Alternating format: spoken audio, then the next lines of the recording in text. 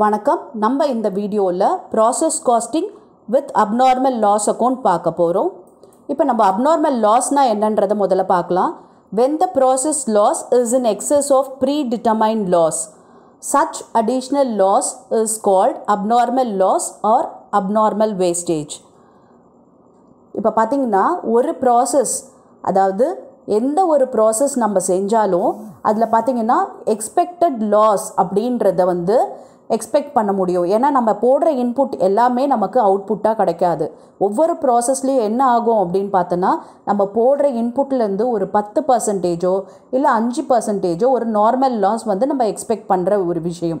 இதை மாதிரி எக்ஸ்பெக்ட் பண்ணுற லாஸ் போக மேற்பட்டு கொஞ்சம் லாஸ் வந்தது அப்படின்னா அதுதான் வந்து அப்நார்மல் லாஸ்ன்றது அதாவது நம்ம எக்ஸ்பெக்டட் லாஸ் ப்ளஸ் அடிஷ்னலாக ஏதாவது லாஸ் வருது அப்படின்னா அதை நம்ம அப்நார்மல் லாஸ் இல்லை அப்நார்மல் வேஸ்டேஜ்னு சொல்லலாம். அண்ட் இதை கண்டுபிடிக்கிறதுக்கு உங்களுக்கு ஒரு ஃபார்முலா இருக்குது value of abnormal loss equal to expenditure of the process minus scrap value of normal loss அதாவது அந்த ப்ராசஸ்க்கு என்னென்னலாம் செலவு பண்ணியிருக்கோமோ அதுதான் expenditure of the ப்ராசஸ்ன்றது and scrap value of normal loss இந்த நார்மல் லாஸ் வந்து ஒரு பத்து பர்சன்ட் எக்ஸ்பெக்ட் பண்ணுறோன்னு சொல்கிறோம் இல்லையா? அந்த பத்து பர்சன்ட் ஏதாவது ஸ்க்ராப் வேல்யூ ரியலைஸ் பண்ணி இருந்தது அப்படின்னா அதை மைனஸ் பண்ணணும். Divided by input minus normal loss அதாவது இன்புட்டுன்றது நம்ம போடுற யூனிட்ஸ் சொன்னேன் இல்லையா? எவ்வளோ இன்புட் போடுறோமோ அதில் லாஸ் போக இருக்கிறது தான் இது போடுறது. ஓகேவா அதாவது input minus normal loss units into abnormal loss units abnormal loss எவ்வளோ யூனிட்ஸ் கிடைக்குதோ அதை மல்டிப்ளை பண்ணால் உங்களுக்கு அப்நார்மல் லாஸோட வேல்யூ தெரிஞ்சிடும் இப்போ நம்ம ஒரு ப்ராப்ளம் பார்க்கலாம் உங்களுக்கு தெளிவாக புரியும். இந்த manufacture of a product B thousand KG of material at rupees eight per KG was supply to the first process அதாவது ஒரு ப்ராடக்ட் மேனுஃபேக்சர் பண்ணுறாங்க அதுக்கு தௌசண்ட் கேஜிஸ் ஆஃப் மெட்டீரியல் வந்து இன்புட்டாக போடுறாங்க. அந்த மெட்டீரியல் பார்த்தீங்கன்னா எயிட் பர் கேஜி ஒவ்வொரு கேஜியும் எவ்வளோ ருப்பீஸ் அப்படின்னு பார்த்தீங்கன்னா எயிட் ருப்பீஸ் அப்புறம் labour cost amounted to rupees two thousand and production cost incurred was rupees thousand இதுக்கு லேபர் டூ தௌசண்ட் இருக்குது அண்ட் ப்ரொடக்ஷன் ஓவர் ஹெட் பார்த்தீங்கன்னா தௌசண்ட் இருக்குது the normal loss has been estimated at ten percent நான் சொன்னேன் இல்லையா ஒவ்வொரு ப்ராசஸ்லேயும் ஒரு normal loss வந்து எக்ஸ்பெக்ட் பண்ணுவாங்க. அது இதில் வந்து டென் பர்சன்டேஜாக இருக்குது அண்ட் அது பார்த்தீங்கன்னா it is sold for two per KG இந்த லாஸ் இந்த நார்மல் லாஸை ரெண்டு ரூபாய்க்கு ஒவ்வொரு கேஜியும் sale பண்ணிடுறாங்களாம். The actual production of the process was eight hundred and eighty KG அதாவது அவுட்புட் என்ன அப்படின்னு சொல்கிறாங்க இந்த ப்ராசஸ்லன்னா eight hundred and eighty KG show process one account abnormal loss account and abnormal loss account ஓகேவா இப்போ நம்ம ப்ராப்ளம் எப்படி போடுறதுன்னு பார்க்கலாம். ஃபஸ்ட்டு பாருங்கள் மெட்டீரியல் போட்டிருக்கோம். மெட்டீரியல் எவ்வளவு? Thousand KG and eight per கேஜின்றதுனால thousand into eight eight thousand அதுக்கப்புறம் லேபர் காஸ்ட் டூ தௌசண்டும் ப்ரொடக்ஷன் ஓவர் ஹெட் தௌசண்டும் இதையும் நம்ம டெபிட் சைடு எழுதிக்கலாம். ஓகேவா இப்போ அடுத்து நம்ம எழுத வேண்டியது என்னென்னா நார்மல் லாஸ் இந்த நார்மல் லாஸ் எப்போவுமே எதில் கண்டுபிடிக்கணும் அப்படின்னு பார்த்தீங்கன்னா இந்த இன்புட்டில் தான் கண்டுபிடிக்கணும். அப்போ டென் பர்சன்ட் இன்டூ ஹண்ட்ரட் பார்த்தீங்கன்னா ஹண்ட்ரட் யூனிட்ஸ் வரும்.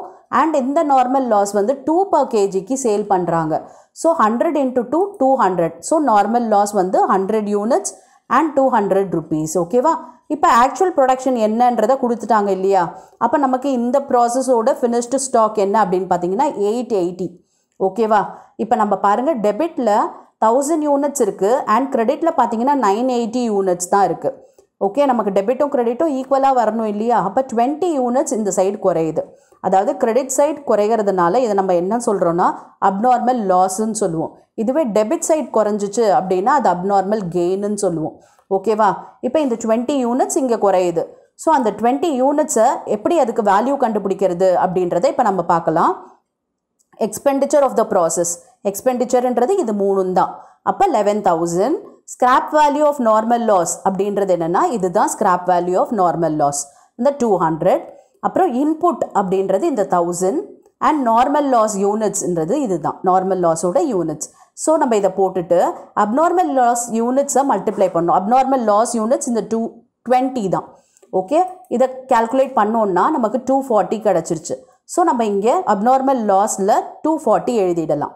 இது பார்த்தீங்கன்னா பர் யூனிட் எவ்வளோ வருதுன்னா two forty divided by twenty போட்டிங்கன்னா தெரிஞ்சிடும் உங்களுக்கு டுவெல் ருபீஸ் ஓகேவா இப்போ இதே ருபீஸ்க்கு தான் உங்களோட ஃபினிஷ்டு ஸ்டாக்கும் இருக்கும்.